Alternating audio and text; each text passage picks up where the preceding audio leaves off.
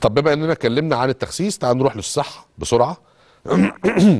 دكتورة هالة زايد وزير الصحة والسكان ووزارة الصحة عقدت أولى الدورات التدريبية للبرنامج التدريبي الموحد لتأهيل القوى البشرية لتطبيق نظام التأمين الصحي الجديد. وانتوا عارفين حضراتكم إن قصة التأمين الصحي دي عملت جدل كبير خلال الفترة اللي فاتت ولحد النهارده في ناس مش فاهمة. قانون التأمين الصحي الجديد ده عامل إزاي؟ متغير ومختلف عن سابقه إزاي وإحنا هنتعامل معاه إزاي. عشان كده كانت هذه الدورة التدريبية.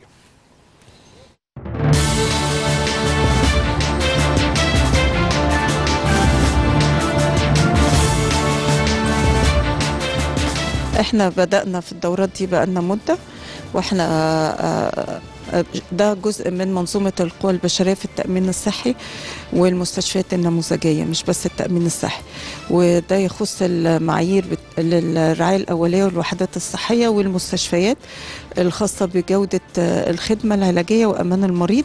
والجديد في المعايير ديت إنها معايير تطبيقية مش نظرية مرحلة إن إحنا كان عندنا الفترة السنوات اللي فاتت معايير الجودة وإذا كان والتوثيق والحاجات دي وفي الآخر المريض ما بياخدش خدمة.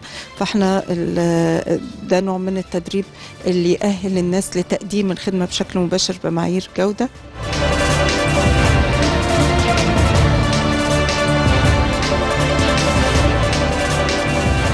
والله المؤتمر النهارده ده بيؤكد زي ما سيادة الوزيره أكدت من شوية على إن رفع كفاءة العنصر البشري وتدريبه وتأهيله هو أحد المحاور الرئيسية في تطبيق منظومة التأمين الصحي الشامل الجديد في محافظة بورسعيد آه، اللي بتتضمن أكثر من محور منها محور آه، رفع كفاءة ال- ال- البنية التحتية للمنشآت الصحية سواء كانت مستشفيات أو وحدات أو مراكز وأيضا آه، آه، محور الميكنه اللي سيادة الوزيره اتكلمت عنه وأعلنت إن هيبقى فيه إن شاء الله بكرة توقيع بروتوكول تعاون ما بين آه، وزارة الصحة ووزارة الاتصالات ووزارة الإنتاج الحربي. الدور بتاع الهيئة هو أننا نضمن آه، جودة و... و... وأمان وكفاءة الرعاية الصحية المقدمة للمواطنين. آه، فإحنا بن... بنعمل نظام التأم... ال... ال... الاعتماد للمستشفيات أو للمؤسسات الصحية بشكل عام مستشفيات أو مراكز الرعاية الأولية أو أي- أو أيا كان نوع المؤسسات الصحية. القانون بيتكلم إنه الخطة تشمل جميع آه، أنحاء الجمهورية بالتطبيق الجغرافي التدريجي خلال 12 سنة.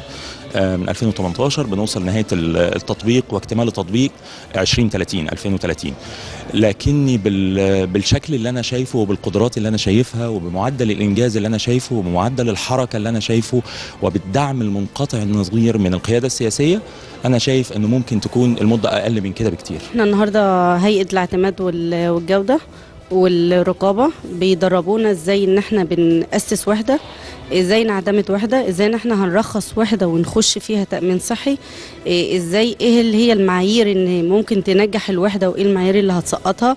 إيه بيعرفونا إزاي نعمل خطة بيعرفونا إزاي نعمل سياسة نتناقش مع بعض. إيه بيعرفونا إزاي ان إحنا نحط خطة إزاي ان أنا امن المنشأة من الحريق أو إزاي ان أنا أدرب فريق طبي.